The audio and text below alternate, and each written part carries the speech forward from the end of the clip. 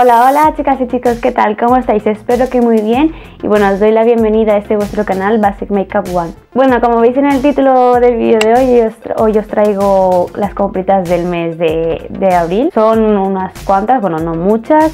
Eh, y nada, antes de empezar quería deciros que bueno, he estado dos meses, uy, dos meses, dos semanas sin subir vídeo al canal porque bueno, si me seguís por las redes sociales también ya lo sabréis. He estado con el carnet de conducir, eh, la semana pasada hice la teoría y ahora estoy ya con la práctica. Así que ya veremos cómo se la cosa. Bueno, y ahora sí que sí voy a enseñaros las compritas, que es lo que os interesa. Este mes de abril fui a Valencia y bueno, en la estación de Valencia eh, hay una tienda que se llama Le Hop, aquí en mi ciudad no hay, así que bueno, pues aproveché y pasé y vi carcasas para el, para el móvil, para mi móvil bueno, para mi móvil, para varios tipos de móvil y para tablets y demás. Ya sabéis que, bueno, os hice un vídeo para decorar vuestras carcasas, que os lo dejaré por aquí enlazado. Ha tenido bastante éxito y creo que a lo mejor haré alguno, alguno más. Si os gusta la idea, decírmelo por abajo y yo lo hago encantada porque aún tengo carcasas transparentes para decorar. Pues compré tres carcasas, la otra ya la tengo puesta en mi móvil, pues están bastante bien. Eh, estas dos son como de goma, son así blanditas y esta otra pues es dura es transparente, un poco transparente aunque tenga los colores. Os tengo que decir que este mes han habido bastantes ofertas, bueno, donde yo he encontrado bastantes ofertas. Uno de ellos fue Carrefour, cogí el agua micelar de, ellos, de, Les Cosmetics, simplemente un agua micelar. Yo ya he acabado la que tenía de Garnier, la verdad es que me gusta bastante, deja un poco pegajosa, no tanto como esta, esta es más pegajosa, cuando te desmaquillas te deja la cara más pegajosa. Y creo que este me deja más restos de maquillaje que el de Garnier. El de Garnier quita bastante bien el maquillaje, pero igualmente yo os recomiendo que una vez utilicéis el agua micelar os lavéis la cara porque igualmente deja algo de maquillaje, no lo quita completamente pero sí lo quita bastante. Ah, lo que os decía de la oferta es que por ejemplo allí en Carrefour ponía que la marca Hydra eh,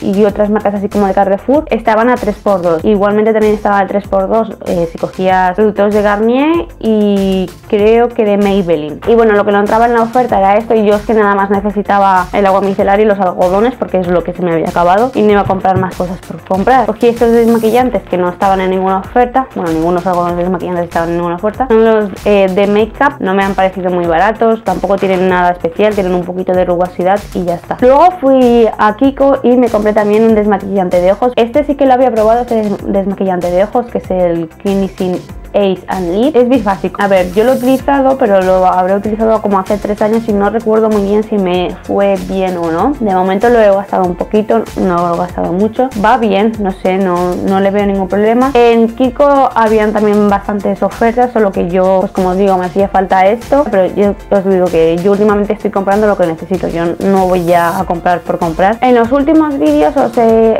comentado que aquí en mi ciudad no tenemos trendy makeup. Sí que tenemos, lo que pasa es que están cerrándolo ya y yo pensaba que ya lo habían cerrado por completo y bueno, pues ahora están en liquidación y he aprovechado y me he pasado por, por allí. Solamente me cogí esto y otra cosita más. Me cogí un lip, eh, lip tint de Bell. Este es nuevo, creo recordar, es el tono número 7. Es el que llevo ahora mismo en los labios y me gustó bastante. La verdad es que era el último que quedaba. También me cogí una lima que la verdad es que me hacía falta. Tengo una lima que compré en inglés hace como más de cuatro años y no la he repuesto y me sigue lijando bien, pero que claro, tiene cuatro años y pues por cambiar ya, no sé, es que esto seguro que me, me lima mejor las uñas ya que, el otro. Ahora paso a ropita. Os anuncié por Instagram que os recomiendo que me sigáis porque cuando encuentro alguna ofertita y no sé lo que va a durar, bueno, os lo intento publicar la oferta. No sé si aún seguirá, si sigue cuando lo suba os lo pondré por aquí. Aproveché y compré en varios sitios ofertas que había. Primero voy a empezaros a enseñar lo de